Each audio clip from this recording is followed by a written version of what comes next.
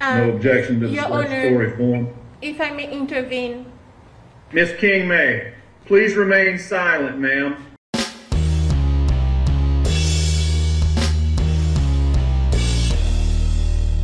How's everybody doing? My name is Anthony Brian Logan, and today we got to talk about a crazy story coming out of Atlanta, Georgia, involving a mass shooting.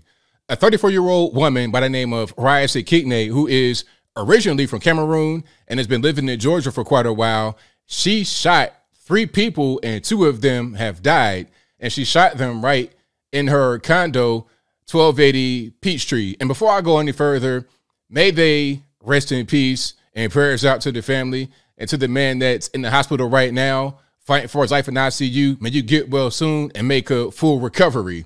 But the reason why this happened before I get to the video is because there was a lawsuit and some kind of beef against the property management because of her old job. Now, this is a really deep, detailed story. So before I go any further, let's roll the clip. In this clip, you're going to see and hear a little bit more context. You're going to see where this whole thing unfolded. You're going to see how a big part of Midtown was shut down for a while after this. But after we get done watching that, I'll come back. I'll talk about what was said there. Then I give you the rest of my two cents and my deep, detailed analysis. And then I wrap it on up with a nice bow on top. So without further ado, let's go ahead and roll it. Breaking news at noon. Brand new developments in the deadly triple shooting in the heart of Midtown. Right now, the woman Atlanta police say pulled the trigger is going before a judge for the first time since she was arrested at the airport less than 24 hours ago. Good afternoon. I'm Lana Harris. Now, we are now getting a first look at that first appearance in a Fulton County courtroom. Take a look. This is brand new video showing Raissa Kengne in court handcuffed. We've learned she is facing multiple charges, including two counts of murder, three counts of aggravated assault, and two counts of false imprisonment. Police are also telling CBS 46 that Midtown shootings were targeted attacks. We have live team coverage this afternoon. CBS 46's Madeline Montgomery is standing by with a brand new witness account to the accused shooter's arrest.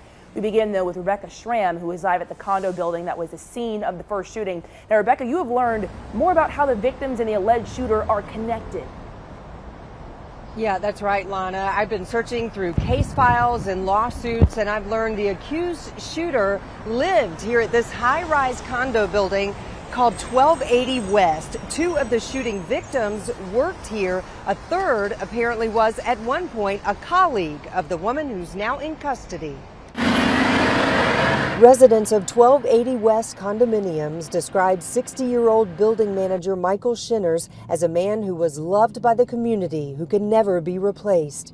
The widow of 41 year old Wesley Freeman told CBS 46 via text that her husband was kind and gentle, incredibly funny, and that he never spoke an ill word of anyone. According to authorities and the building's management company, this woman, identified as 34 year old Raissa Kengne, entered the management office at about 1:45 Monday afternoon, shooting and killing Shinners and critically wounding Mike Horn, the management company's chief engineer. I've been in this building for 18 years. To hear something like that, this is definitely the worst day ever for this building. While authorities were investigating that shooting, they got a call of another shooting a few blocks away on Peachtree Street. Police say that's where Kengne shot and killed Freeman. Freeman worked for the accounting firm BDO, the same firm the accused shooter lists on her LinkedIn page as a former employer. We've learned Kengne was a plaintiff in several lawsuits. In May of 2020, she was one of several residents who sued the condo association at 1280 West over balcony repairs. In May of this year, she filed a lawsuit against several people and entities, including the two murder victims, Wesley Freeman and Michael Shinners. All right, so you saw that, you heard that. Now, this story is crazy. And elephant in the room, at least for me, I don't know about you guys, but elephant in the room for me is hey, ABL, why is this story not all over the news? Why is this story not being covered as a mass shooting? I mean, it shut down Midtown Atlanta, or at least a part of it, right there by Colony Square, a high traffic area. Uh, I go there all the time myself. I go to the taco spot. There's a Chick fil A right there. Beautiful area. Why is the story not really being covered that much in the mainstream media? Well, there's a few factors that aren't there that the media wants to focus on. We're talking about mass shootings or any kind of shooting in general. First, it's got to be white male shooter. Okay, that's that's number one. White male shooter, we gotta have that. Black male shooter, eh. Black female shooter, eh. White male shooter, not there. Then it's got to be person of color, what they say, POC, non-white victims.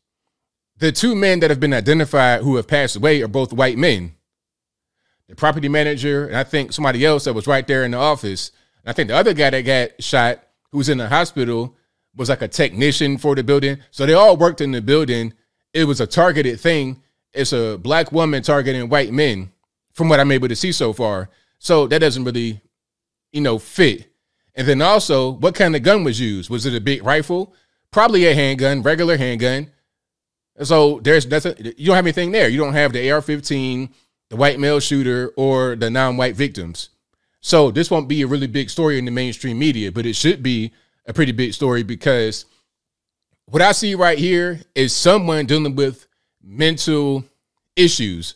I don't want to say mental illness because I can't diagnose people. And I think sometimes that whole mental illness card is used as a get out of jail free card. Oh, I'm mentally ill. So I didn't know I was doing wrong when I wrote manifestos on LinkedIn targeting people. And then I go to a meeting with a gun and then I shoot and kill them. People I had issues with, I'm to shoot and kill them because that's the only way out. I don't think mental illness is an excuse for that, but I think something's going on where the elevator is not going all the way to the top floor. You are a few trees short of a forest. You know, the lights are on, but ain't nobody home. Something's going on with your mind. And a key for me would be what I played at the very beginning of this video, where she's in court after she'd already been caught.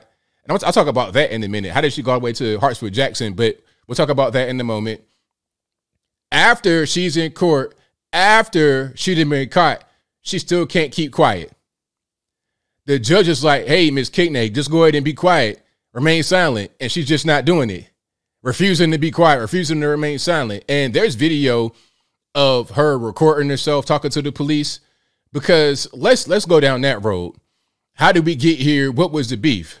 Well, she says that her prior employer, I forget the name of the company, but maybe I'll put a screenshot up on the screen. But her prior employer had retaliated against her she alleges that they broke into her house and they spoofed her phones and all kind of wild stuff, right?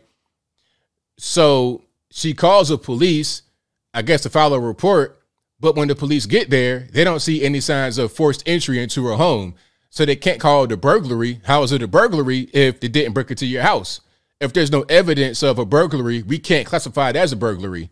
So it was little stuff like that. And she's going down to the police station talking to people and she's talking to the sergeant and then somebody else and the way she's speaking she's not listening to what they're saying really and when she talks they're quiet they let her speak but when they talk meaning the police she's over talking them interrupting it's the same thing she's doing here they're trying to explain to her what's going on but she's not really receiving it properly it, it, it, it begs the question how did she have a job as an auditor or whatever she was at all. How did she have a job anyway? I think maybe at a certain point they got tired of that kind of behavior and fired her. And then this made her go down this whole rabbit hole of, oh, well, they broke into my house and they spoofed my phones, all this, that, and the third. Just maybe.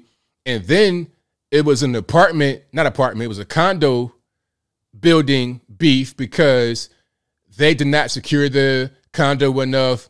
They broke into her house, all this and that. You, you see what I'm saying? So then the issue with the employer that fired her now becomes the issue of the condo management not doing enough to secure the premises. And then other things. There was this uh, leaflet she put out a while ago trying to become like the president of the condo association or something like that. Okay. She's like running for office in the condo trying to have more, um, I guess you would say authority, more pull in the condo, talking about, oh, you come to me, I'm going to address your issues right away. Things won't get left on the back burner, and we're gonna have fun activities, and food and drinks, and just just all kind of stuff like that.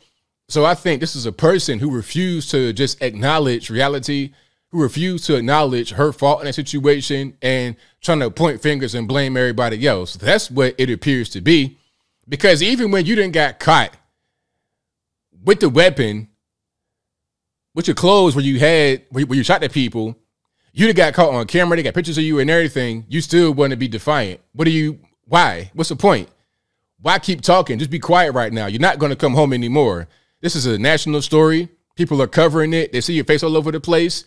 You have a you have a manifesto on LinkedIn where you mention one of the guys that you shot and killed. Oh, it's a wrap. They got all the evidence that they need. How did she get to Hartsfield Jackson? How did she get all the way from Midtown to the airport? That's not that's not necessarily a a quick journey. You know, um, she went on a MARTA train uh, apparently, like on the train, like a not not a subway necessarily, but it's like an above ground type thing. I don't think MARTA goes below ground, if I'm not mistaken. I think it's all above ground. But regardless, she was on the MARTA train and went from uh, Midtown all the way to the airport. Maybe people that were on the train weren't, weren't watching the news. They didn't really see what was going on. So they didn't really know that it was her. But she was easily identifiable. It was a pretty good picture of her in the condo. People knew who she was already from the condo because she'd been there for five years. She had the manifesto online. Everybody knew who it was. And she didn't change her clothes at all. She had a whole suitcase apparently, but did not change her clothes. It's like what's it, what's in the briefcase? Is it is it no clothes in there? Is it papers? Is it, is it a weapon? What's going on? And then they found the weapon on her at the airport. So this could have been very dangerous. She could have been trying to go up in the lobby and do something to somebody if they ran up on her the wrong way. Okay, so this this could have been a lot more dangerous than what it was. But ultimately, she wasn't going to get anywhere. She was in an international terminal, but how are you going to get through TSA with a gun in your bag? She was going to get stopped regardless. Like I say, the lights are on, but ain't nobody home. You're going to go to Hartsfield Jackson, the busiest airport in the entire world, with a gun in your bag, and you just got done shooting three people, killing two of them. I mean, it's crazy, but I think I'll leave that right there for now. And what say you? Why is this story not the biggest thing on television right now. Whatever your thoughts on that are, let me know in the comments below. You guys know where I'm at. Stories like this happen, I don't want to say frequently, but they happen more than what you may think. And the reason why you don't know about it is because the media has no benefit from it. They can't say white man bad. They can't say AR 15. They, they can't say person of color, victim, white man, villain. They can't say that in this case.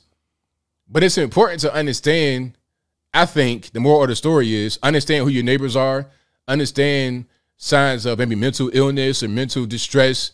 Understand that people, they sometimes they go crazy. This lady right here might have been crazy for a while. Based upon how she was behaving, she probably had some issues for quite a while. Now, I'm not saying this could have been prevented. I'm just saying watch it back because sometimes people lose it and they lose it on innocent people that did nothing wrong. But whatever your thoughts are, please let me know in the comments below. And that's all I got to say for this video. If you like what you heard, please comment, rate, share, and subscribe. Peace.